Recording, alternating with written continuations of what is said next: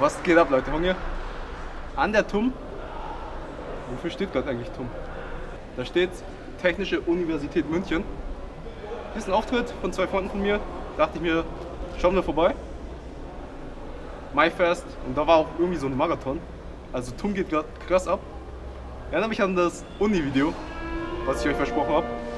Muss ich mich mal mit dem Kollegen Ria treffen und dann über Uni, Zukunft, bla bla reden. Hier gibt es übrigens auch zwei Trigger-Arenen. Also die TUM hat getriggert, bevor das mit dem Triggern überhaupt bekannt war. Haben die halt aus Versehen zufällig immer getriggert. Also die Studenten hier hatten am Anfang die meisten Mute Rates. Zeige ich euch ein bisschen was vom Auftritt und dann, oder allgemein von der TUM, weil die fasziniert mich gerade richtig hart. Krasse Gebäude, kein Vergleich zu LMU, wo ich halt war. Fläche hier ist auch riesig. Das ist nur ein, eine Fakultät. Und die ist riesig. Das ist, so, das ist sogar ein Museum. Also hier ist echt übertrieben.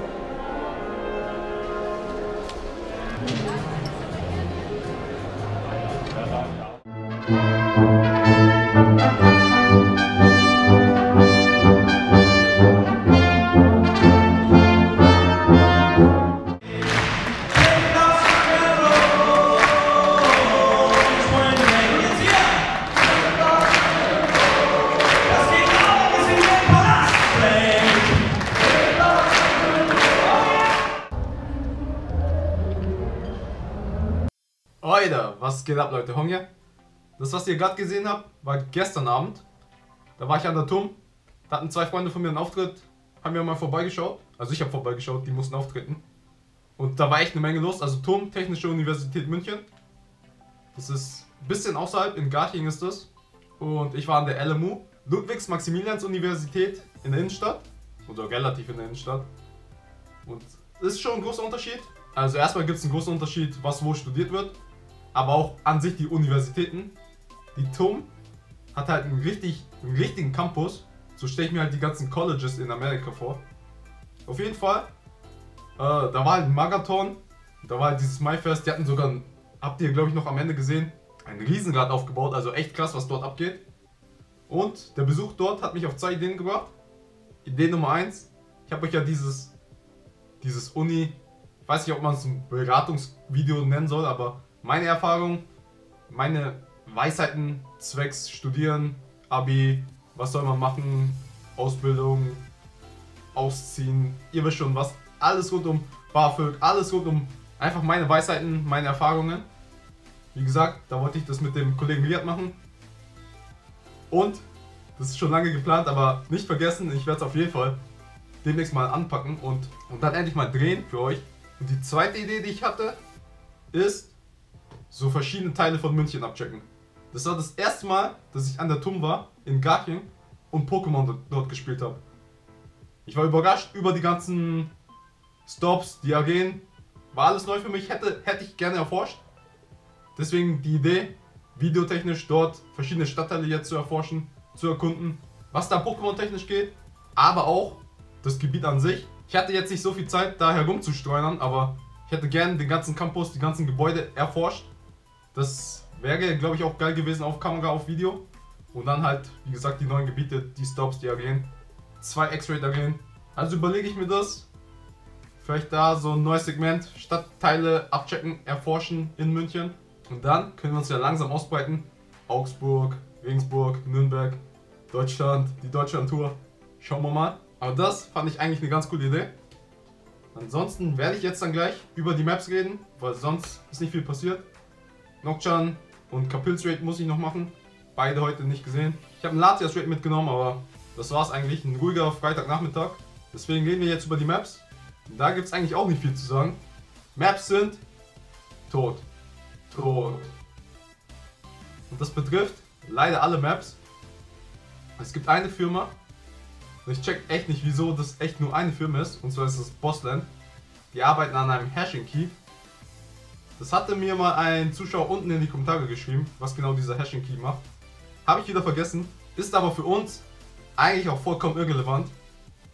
Ich kann euch nur sagen, dass Niantic da an der API immer was ändert und dadurch die nicht weiterkommen, um diesen Hashing Key und die API zu cracken.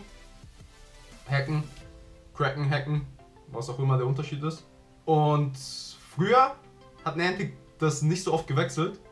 Dadurch konnten die das entschlüsseln, sage ich jetzt mal. Und dann lief's halt, liefen die Maps. Jetzt kam dann der Zwischenfall, wo Niantic das mal nach langer Zeit wieder geändert hat. Und dann dachte man sich, ja okay, Bossland, die werden das wieder entschlüsseln, brauchen nur eine Weile. Aber seitdem ändert Niantic das immer und immer wieder. Und auf gut Deutsch gesagt, ist es irgendwie jetzt dann nicht mehr die Mühe wert, das zu entschlüsseln. Boston hat sich dazu geäußert und die meinten, Hoffnung ist noch nicht vorbei, die arbeiten immer noch dran. Aber die meisten sehen schwarz. Auch Philipp habe ich letztes Mal bei einem Essen getroffen. Der meinte auch, eigentlich gibt es da nicht so viel Hoffnung. Vielleicht kommen sie irgendwann mal wieder, wenn der Niantic nicht aufpasst. Und dann denken sie, ja, okay, alle Maps sind tot, brauchen wir das jetzt nicht ständig zu ändern. Und dann, bam, eine Nacht, Purge. So wie die richtige Purge. Eine Nacht im Jahr, wo alles geht. Also ich könnte mir vorstellen, dass sowas vielleicht passieren kann. Aber dass so konstant eine dauerhafte Map läuft, wahrscheinlich nicht. Ungelogen. Ohne Map ist halt echt ein bisschen langweiliger. Ihr wisst, ich bin großer Map-Fan. Hat halt echt diesen Nervenkitzel, diese Jagd gebracht. Und ohne, da fehlt halt ein bisschen was, ein bisschen Action. Auch für Videos, die überklassen Fänge, Highlights fehlen einfach. Also das war das Update zu den Maps. Sehr wahrscheinlich tot. Die Hoffnung ist zwar noch nicht komplett, komplett tot. Aber ich würde erstmal nicht damit rechnen. Vielleicht passiert ein Wunder und irgendwann kommt sie wieder. Aber jetzt für eine Weile erstmal nicht. Vielleicht plant Niantic ihre eigene Map. Zumindest auf jeden Fall kann ich es mir vorstellen für Raids. Vielleicht auch für Spawns. Ziemlich sicher niemals für IV. Aber da denke ich, bringen die eh was für, um IVs zu boosten. Aber dazu habe ich schon mal ein Video gemacht. Ansonsten noch ein Thema jetzt zum Abschluss. Und zwar, das nächste Event wurde geleakt. Es ist wieder Adventure Week. Auch bekannt als das Gesteins-Event. Letztes Jahr, das Gesteins-Event ging krass ab.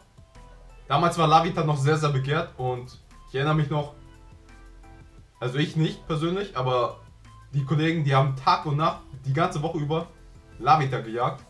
Okay, jetzt ist eh vorbei, mit, weil keine Map mehr läuft. Deswegen wollte ich auch nochmal drüber reden. Und zwar war ich ja enttäuscht wegen dem Kampfevent, dass ich wahrscheinlich 100% Nocturne und 100% Capoeira verpassen werde. Aber zum Glück, oder was heißt zum Glück, aber die spawnen halt nicht so oft oder gar nicht erhöht. Die gibt es halt in den Raids, also Nocturne, Capoeira. Keine Ahnung, was mit Capoeira ist. Aber die Spawns von Kikli, Nocturne, Capoeira sind nicht erhöht. Das heißt auch höchstwahrscheinlich, dass ich die nicht verpasse als 100er. Ohne Map jetzt. Aber was ich verpassen werde, falls es echt stimmt mit dem Gesteins-Event jetzt, das dann als nächstes kommt. 100er Ergodactyl. 1490 aus dem Mai, 1490 aus dem Raid und nicht 1490 aus der Quest. Fehlt mir noch einer der seltenen. Letztes Jahr wurde nur auf Lavita gescannt. Damals wurde nicht alles gescannt auf IV. Und ja, da kam sicher irgendwann Aerodactyl 100, aber haben wir nicht gescannt danach, leider. Auf jeden Fall, ich kann mich gar nicht erinnern, was letztes Jahr alles beim Gesteins-Event so für Boni kamen. Checkt nochmal das Gesteins-Event ab und wir werden sehen. Ich halte hier auf dem Laufenden. Sobald ich mehr weiß, kommt ein neues Video, Ankündigung zum Gesteins-Event, falls es stimmt. Aber das war's erstmal von mir. Zusammenfassung. Das Uni-Video wird demnächst kommen. Vielleicht ein paar Videos, wo ich Gebiete in München erforsche, wo ich noch nie war. Maps sind tot, leider, aber gibt die Hoffnung noch nicht ganz auf. Und möglicherweise das nächste Event, Gesteins-Event. So, das war's von mir. Wie mal liken, subscriben, kommentieren. Checkt die anderen wie ab. Folgt mir auf Instagram, Facebook, Twitter. Checkt den Shop ab. Und vergesst nicht, Pokémon ist Business.